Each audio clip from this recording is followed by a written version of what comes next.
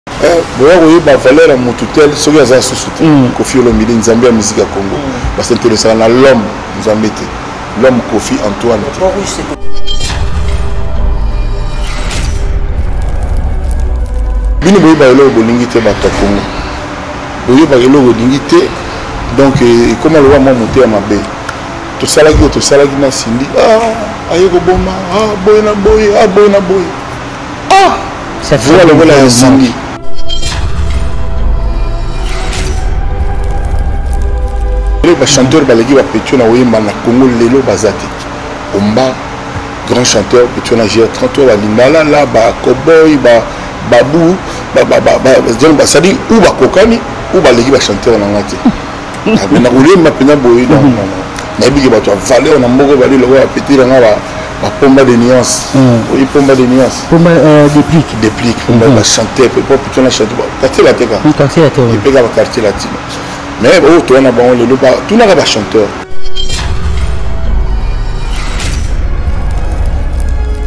pas ko juger ba silence ya mutu je dis ici que depuis le troisième apôtre ça fait 6 à 7 ans tout ça sur rien parce que moi égérie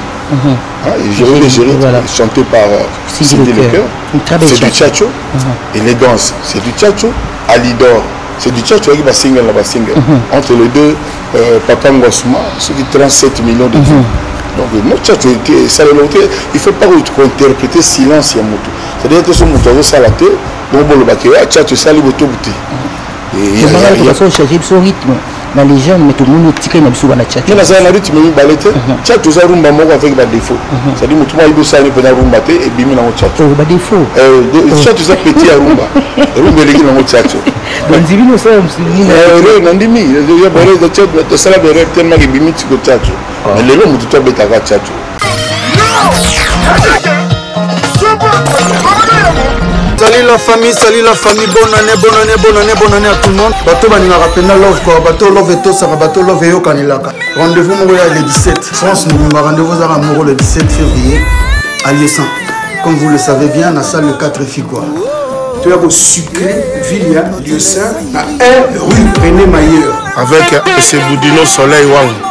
soki okoboma soleil tikela yanuari te soki okoboma lewa tikela ye de wotana donc venez nombreux à partir de 21 heures le 17 février obinaka dasa bombegwa donc fete eza moko ya bamoi olingaka ye alingaka yo salela ye ke azala jour yango boye ebele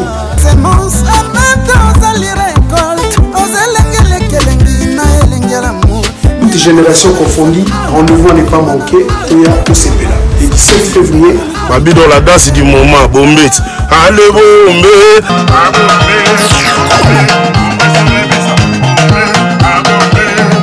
tika boya koyoka kilo ya paris charge batikela yango ngai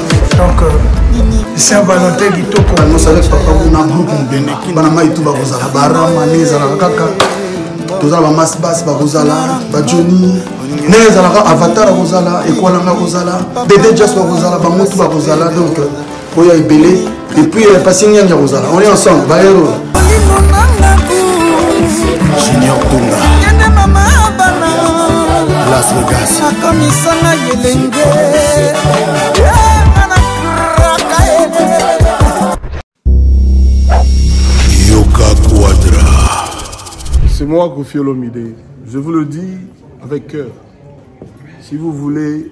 aller de Bruxelles à Paris, de Paris à Bruxelles, aujourd'hui, il y a un moyen que vous devez soutenir.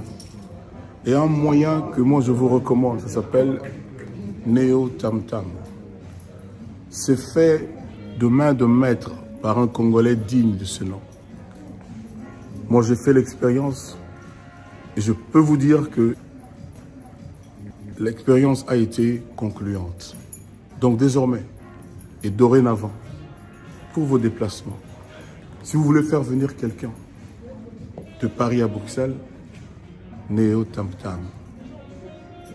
Déjà, c'est notre devoir dans la diaspora de soutenir les initiatives des compatriotes.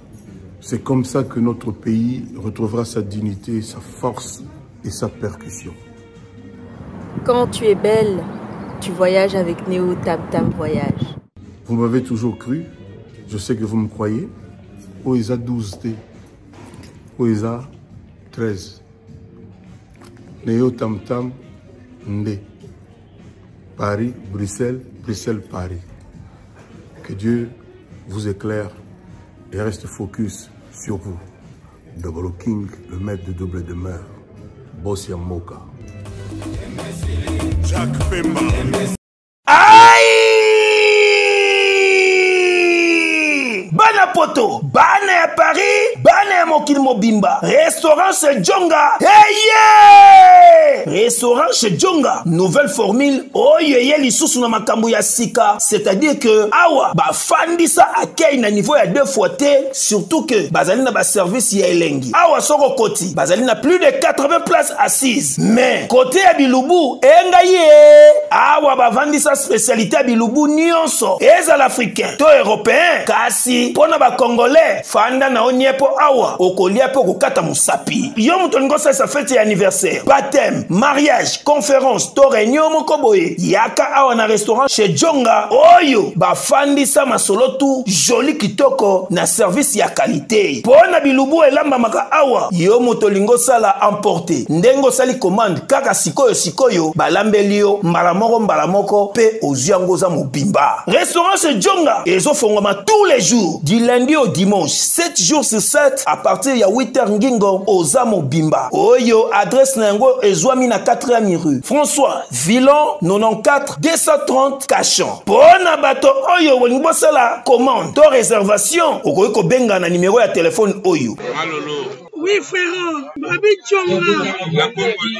Futur. Futur. Hein? moto akosala 50 boite na kati ya kin se jongaske restaurant se jonga yango nde efandisi bilubutu awa na kati ya paris mpe na mokili mobimba eyokani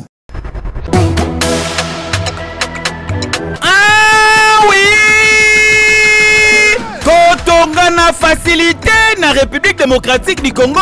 oui eza possible grâce ya congo global construction oyo ezali agence expert na makambo etali construction makambo o otindelaki mwana tata mwasi mbongo aliaki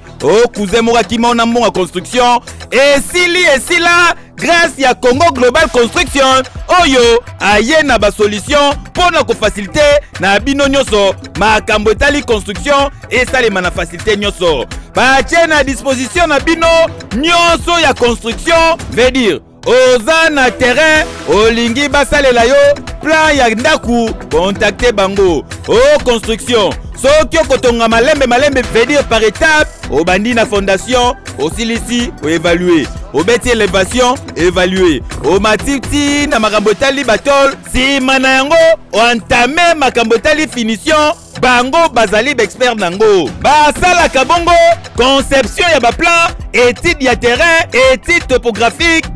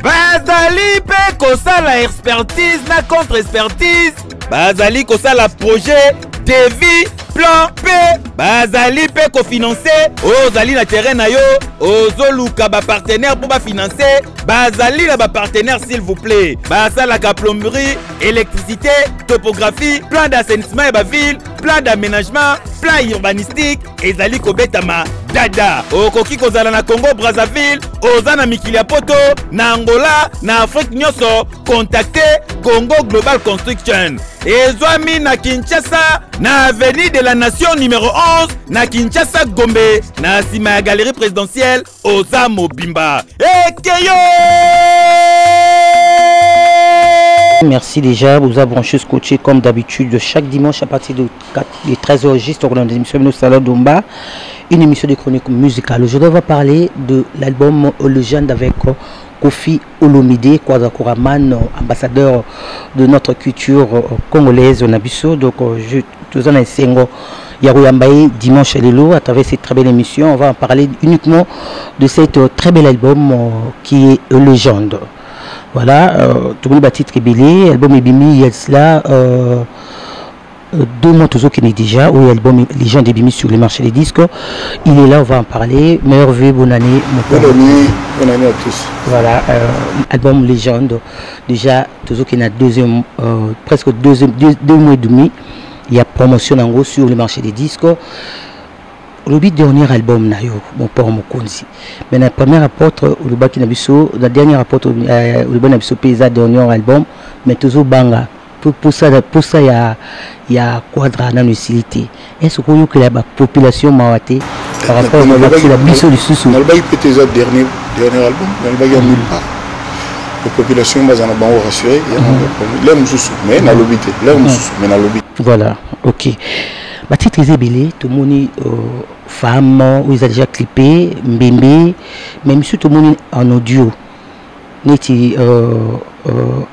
Samuel Oto oyo lelo oyo déjà le 17 eyindaki na salle jour ya, ya, ya, ya, ya, ya sortie officielle ya album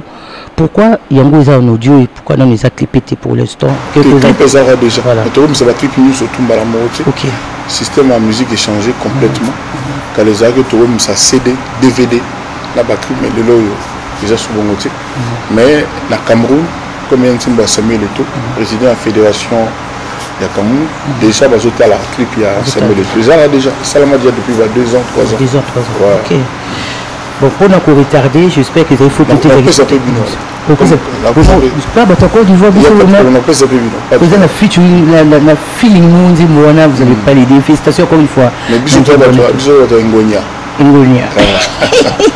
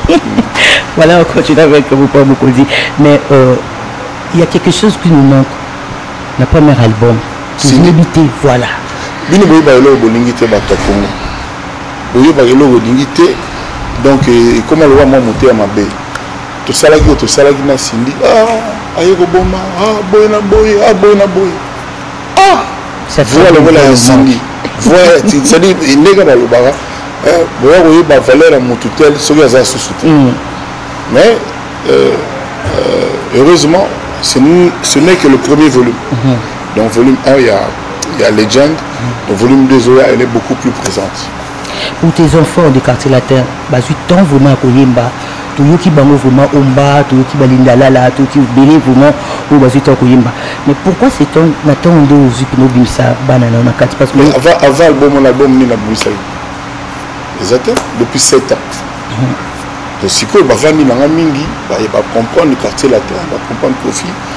c'était le temps c'était le bon moment là c'est c'est bon c'est beau temps oza olobaka ke ah kofi ba misala je vous le dis à la télé ba chanteur baleki ba petio na oyemba na Congo lelo baza te omba grand chanteur petio na gr 33 ba lindala la ba cowboy ba babu ba ba ba ba c'est-à-dire ou bakokani ou baleki ba chanteur na nga te mais nakolemba mpenza boye nayebi ke bato ya valeur na mboko bali lokola peti na nga bapomba de nuance oyi pomba de nuance pomba déplic déplic pomba bachanter mpe mpo pitona chanter quartier lateka epeka baquartier latino mais oyo toya na bango lelo tunaka bachanteur na bakomi dia mwa balider tuna bango omba par exemple tuna bango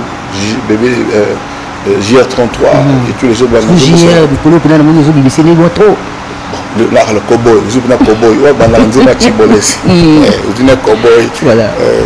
baza kuna ba très très très bon chanteur nabenga yango baleki ya babia tozomona mpe soki urine bakoassure toza na kuna te toza na na légende tokoma mpe na système ya kosangisa sangisa te mm. Mm. totika na légende comme lutu luba euh, la chanson femme kosolomide ozongisi su biso na chacho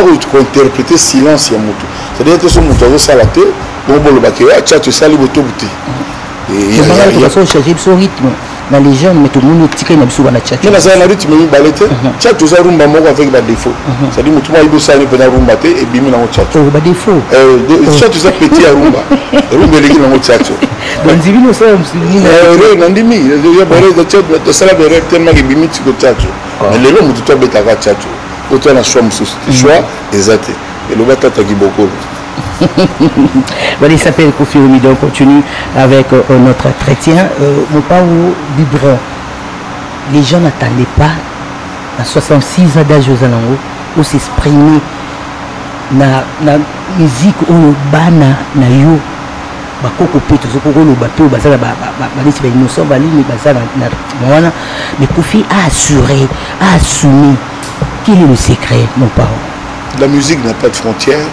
la musique n'a pas d'âge. Tant que un musicien, pur sang, tu dois être capable de faire biberon. yango wana mai biberon eza kaka mwa eloko moko nabimisi na projet na ngai ya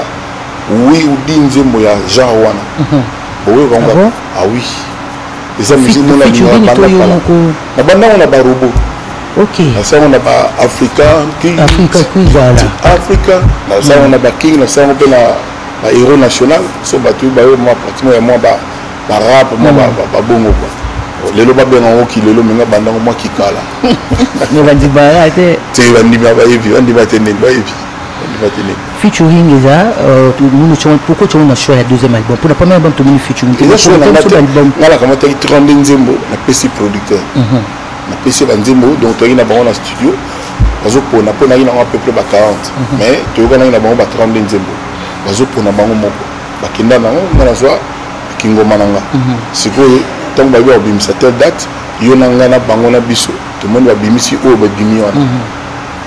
donc oyo oyo obima na ordre bakotia tout ça bango moko bato bayebi donc moi je n'ai pas mon baconsulta nga mais ils ont le droit de, de fonctionner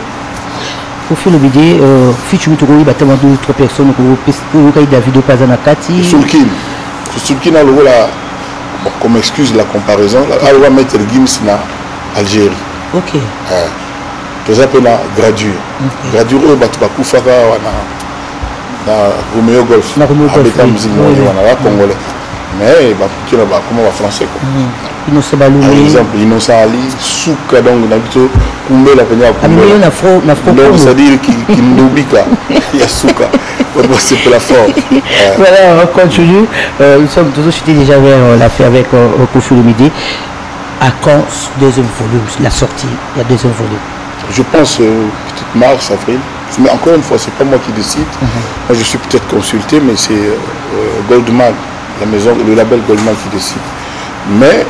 tosukisa nangi vraiment nayebisa bato ke euh, bazela te banzema kofi ya kala yaka bien mpo banzema oyo ya kala yango ezali mpo album oyo nayebi te album na ngai oyo eleki album na banzembo ndenge ngai mona ba pont rouge bakingi moteba ba julie kese julie e eh, julie yo nde solution bamour nyonso ya vent Ngai nakosamaki pona yo Julie nandimi ko changer mentalité. Oza nzima ozo toucher mutu nyonso tout. Donc bazwa temps, bamipesa temps ya koyebaki omoni loyenge ekomi to na mboka na biso donc loyenge un brouhaha général. Votre adresse chez Djonga. bolelaki tro o oh, esika ya bino moko ezali te boyeba ke jong azwili bino solution azwi esika ya ye moko oyo akofandisa ideologie esika oyo bakongole tu bakobanda koya kokutana na ndenge ya defwa te chez jonga de chez jonga de awa bokokuta biloko nyonso bolingaka ya kotumba lokola ntaba ya kitoko mpe elengi, soso ya kotumba, ngulu ya kotumba, pwaso ya kotumba. Esengeli koyeba ke chez Jonga de bafongolaka kobanda mokolo ya mardi ti dimanche. Awa nde esika ambiance ezali kolala, adresse eza kaka se moko chez Jonga de. Week-end boza deja ya kosepela mpo awa ambiance elalaka awa na ndenge ya defwa te. Chaque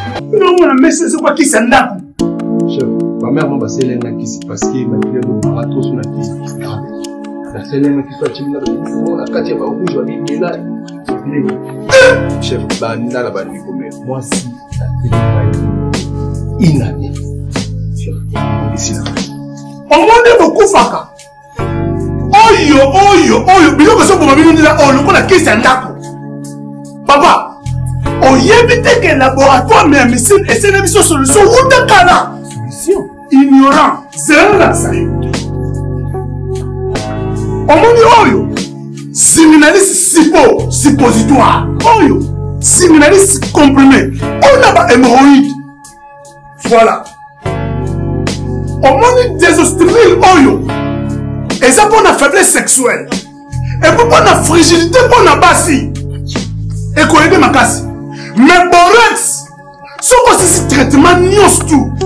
ya hémorroïde nde sikoyo okobanda kopakola yango mpo na nzoto ya biso bapapa soki mpo olingi omesire basantimetre no avant banda kopakola mpo mokolo kosilisa okomesire lisusu okomonake box toujours champion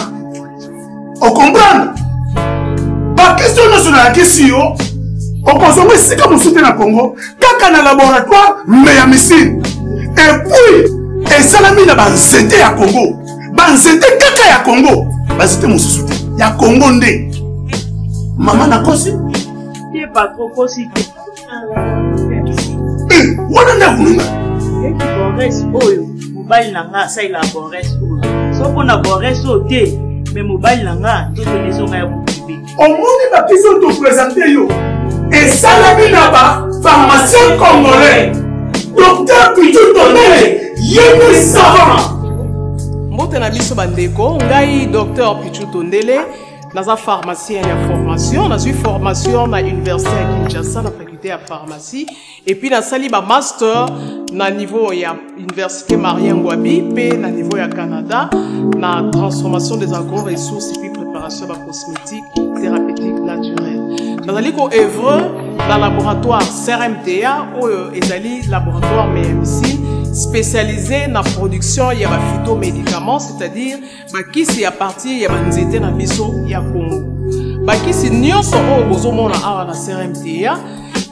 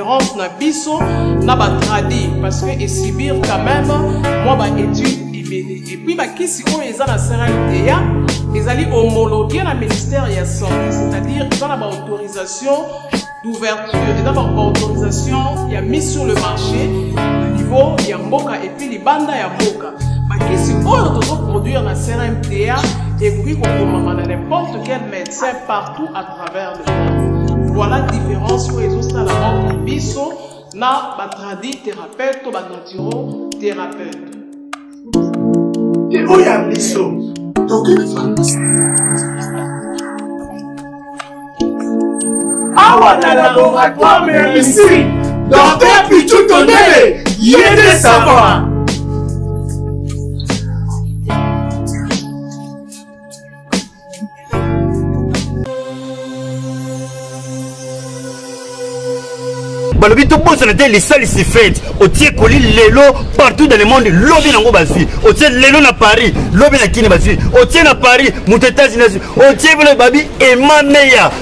lisalisi fred ya ye mei ema meya otie koli lelo lobi tozwi toyeba valeur ya ema meya sia oyo alingaka vue de loin tindelanga na lisalisi fred otie lelo lobi nazwi ayona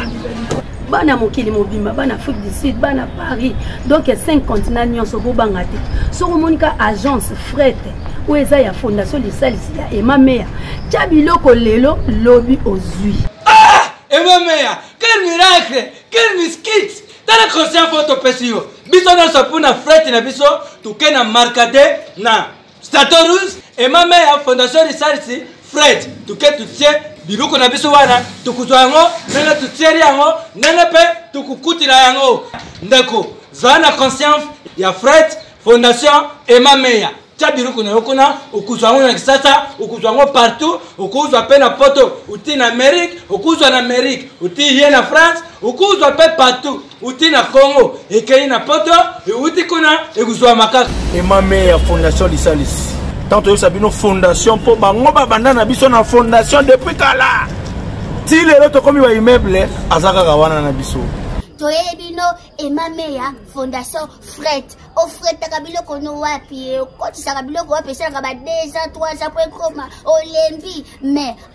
awa nde makambo ah, bato apoye nde tozolinga mpo makambo ekende liboso otye biloko nde lelo ozwi lobi otye lelo ozwi lobi ngai nakomandaki lineti na ngai lobi lelo nazwi yango nalati awi ah toza mosika te na france eh, na france na rimarka te bana chateau rouge bayebi makambo nazolobela bana chateau rouge bayebi makambo nazolobela biso erataka te frete biloko na mituka na yo ndenge olingibamusike akosa eleka bamusike mo ezoumela te 2 mois 5 wana nayebi te makambo nayebi te question na réponse naye alike nayebi te omona mpe na examen mwana mosusu question mosusu mona saute eza te album eza mpenza donc cestadire c'est vraiment un ectedon bato bazwa temps bayoka yango na kisasa na congo towana mpenza na guerre ezali boye na boye boye na boye babutu mutu mpasi ifo oluka olia mbongo ekomi mwa mpasi etu tuko charge babenga nini bamega tout ça mais bato basala effort bayoka yango balinga kaka teke no banze bakofi ya kala ezali lelo eza très bien donc eza te soki ekomi kala nde ekomi bien donc bazwa tembe boye teveki banzembo lokola andres ezosenga mpenza donc ozala na souci te kovanda mpona ozoyoka oza na texte moko banda nasala batexte te andres nana andres mon esprit est perplexe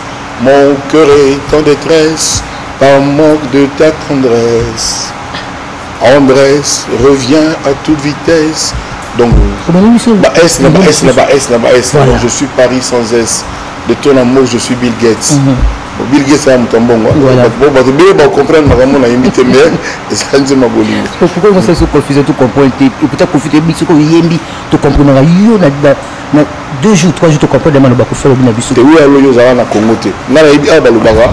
d'abord un maloba kofi eyokanaka te kaka yo lelo olobi na ngenda deux jours ah oza yo moko batikala koloba kaka ke maloba na ngai eyoka en fait batexte eza sans fausse modestie mpe relevé mm. eza mpenza batexte mpenza donc poso nazo respecte bato mm-hmm. oyo bayoka nga et puis euh, nayebi ke banzembo fo nasala yango te mpo na 3 mois mpo na 3 mm. ans mwana moko ya balelo ya ba aja ba inos ba hb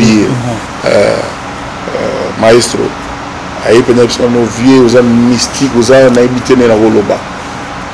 osaleli biso mpe aspirine na biso oyo oh, nzembo tokenda nango bambula nzembo yango nini ofame donc euh, na makambo ele akoloba te te mosusu mpe kozala tumo ayaki na mwa likambo na ye nazwi mai banzembo eza banzembo ya kofilomide pont rouge eh. somo donc ntango bato baya na ntongo bakuta loboko oyo bazoperfuse nga esimbi foto na yo oloba mwasi mobali ezwaki choc ezalaki déception tikomi na niveau kotala foto na loboko eza mpenza histoire vrai namona mpenza mwasi moko na kaa wana donc euh, kolela kwa nakosi nga moko kofi elobi te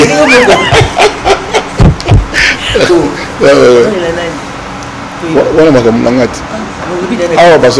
basinteresaka na nzambe kofi olomidi nzambe ya miziki ya congo mm. basinteresaka na l'homme nzambe te l'homme kofi antoine te eh, voilà